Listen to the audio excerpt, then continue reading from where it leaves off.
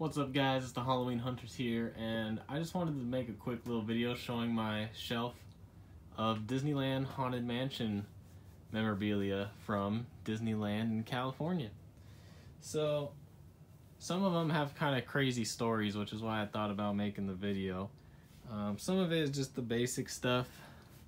Some of it is the you had to get there quick and some is pass holder only. So I'll guess I'll just start down here. Um, we have a pass holder exclusive 50th anniversary serving tray that I got. Um, that's pretty cool. It has like a bat shape and stuff. Nothing crazy, but I had some extra money, so my dumbass bought it. But it's it's cool. Um, we got the little haunted mansion. Hitchhiking ghosts.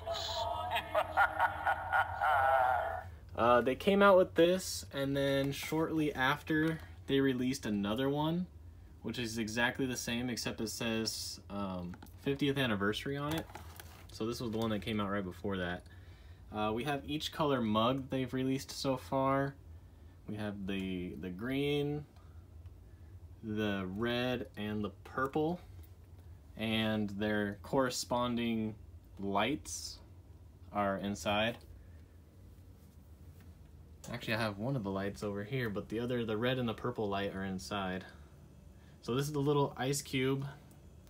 They're $5 at uh, in New Orleans Square, where you can get uh, your mint and julep with one of these. I forgot where else you could get them.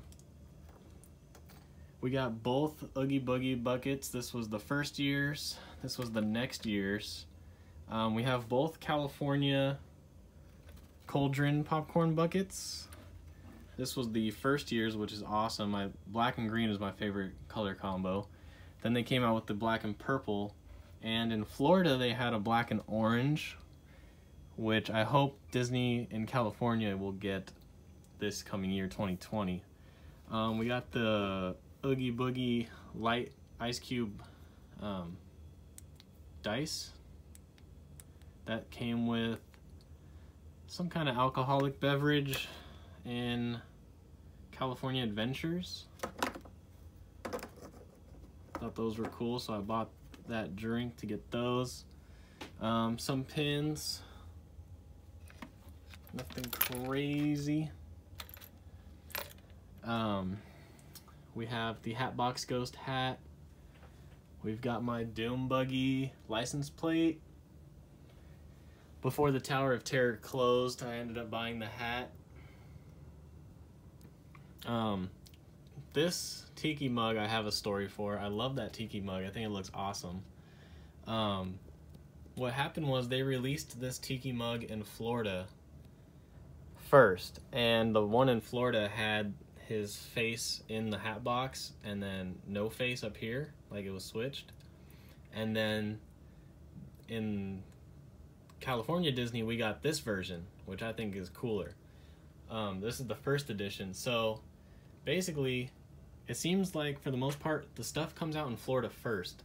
So we see it there, and then we're like, okay, Disneyland's gonna get it or a similar version. So then, a couple days later, they announced they were gonna release this at Disneyland at Trader Sam's, and I wanted to go.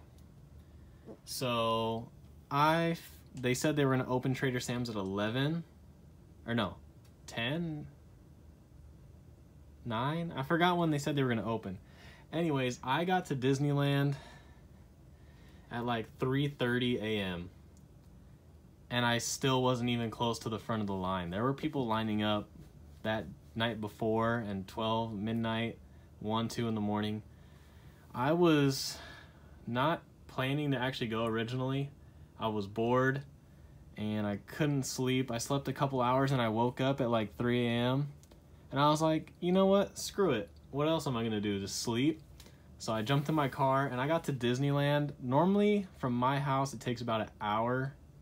I got there in like 20 minutes because there was zero traffic on the freeway.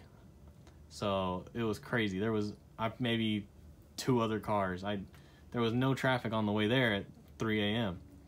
So I got there they were having lots of problems if you were there this day with their registers. They were supposed to have three registers, only one I think was working.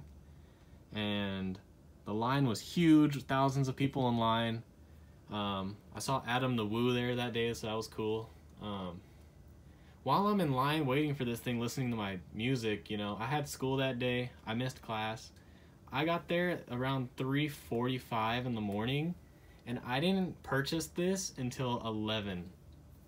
So that's a full work day of just sitting and waiting in line to get this mug. So pretty ridiculous. Um, got the 25th. That's for Indiana Jones. Uh, I uh, got this cool clock that they sell for Christmas one year. A little ornament of the Hatbox Ghost. I got the 50th anniversary ears. Um, these guys are really cool. I love these popcorn buckets.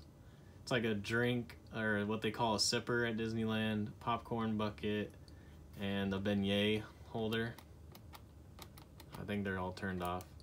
But anyways, these came out unexpectedly at Disney. Disney didn't release that these um these buckets here. They just boom, they opened up the gates, we have these. So it was crazy. So my sister is a Disney Instagrammer and has some Disney Instagram friends that were there and so they got the whole set and they were selling for stupid money on eBay like everything from Disney does the day it comes out. Um, now they're not that much, but basically I saw these and I was like, I need to get a set. This is so cool. So the next morning, my friend spent the night. We got to Disneyland at rope drop.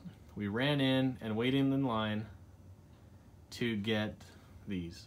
It was me, my friend, and my sister, so we stood in each individual line. Uh, we got the beignet one first because they opened up right at 8 a.m. at rope drop. But popcorn doesn't open until 10, and the sipper was at a restaurant that opened at 9. So that kind of sucked. So basically, this one is like, you know, the coolest one. I think it's Phineas. Um, because it says 50th anniversary. This is the one that makes the sound, the, the music. The other two are just lights. Basically, we got we left my house at like six in the morning to get to Disney at rope drop because there's tons of uh, traffic westbound. We get there, da da da da. We're in line. We get this one. I'm in line for this one, and then after waiting in line for like three hours, uh, cast members are coming over and they're telling us that they're not going to get any more of these for at least another like three, four hours. I had work at 12, so I got to drive all the way back home, which is like an hour. But we got this one. So I got two of the three. Now, it sounds dumb now because they ended up selling these for like the whole year. So all this work was basically for nothing. I could have just waited and got them. But with Disney, you never know. Sometimes they come out with something and they sell it for the whole year or more than that. Sometimes they come out with something and it and it's selling. They have it for a month and it's gone. So you just never know with Disney. Um, so I was like, I need to get one more for the set, you know. So basically, I got these two. Me and my friend, my sister, we rushed to the car. I fly home. Actually, I didn't even get to go home. I flew straight to work um, where they dropped me off. I worked my whole shift and I checked my phone just randomly and I was like, you know what? Disneyland doesn't close till midnight. So I was like, let, I called my friend. I said, you down to go back? Maybe they have these in stock now because they just weren't going to get them in the morning. They said they weren't going to get them till 1, 2 p.m. So my friend's like, yeah, I'm down. Screw it. We're already in this deep. We got two of them. We need the one more. So right after work, my friend picks me up at work. I'm off at 8:30. We jump in the car, get to Disneyland, and they had them in stock. We got there during parade and fireworks, so you know how that is if you go to California Disney. That getting from the main gate to the haunted mansion during fireworks and parade is hell. Trying to get over there, but we got it. Hooray! I had all three. I was super happy. The only thing is they still sold these for a very long time. So really, I didn't need to put in all that work. but cool little story. And then I have this little poster here. You can't really see. Hard to see the signature, but it's signed by two people. Um, honestly, I feel bad for not knowing, but I don't even know her name, but it's the voice actress for the bride, Constance, in the Haunted Mansion. And I had her sign it, and she put, I do, I did, inscription. And then down there somewhere else, I have Bob Gurr. His autograph is on there too. And then the only other couple things I have are the Haunted Mansion Host a Ghost jars. I got Constance Hatchaway and the Hatbox Ghost when they went on sale. That's about it. Um, some other cool stuff. But that's it for this video, guys. I know it wasn't quick because I was telling my stories. But that is my Disney Haunted Mansion collection. There's some other little things like Indiana Jones, Pirates of the Caribbean stuff scattered in there, but I'm all out of room on this shelf, and you know, who knows what's going to come out in 2020. They're probably going to give California the orange cauldron bucket, I'm assuming. And we might even get an orange mug, who knows. Um, they like to do it. I mean, the cauldrons are awesome. I would love to get the orange one in California. So that's it. That's my little Disney Haunted Mansion collection. It's nothing crazy, but it is cool, and some of them have some stories of having to go get them. Um, thank you guys for watching, and I'll try to make some other cool videos shortly.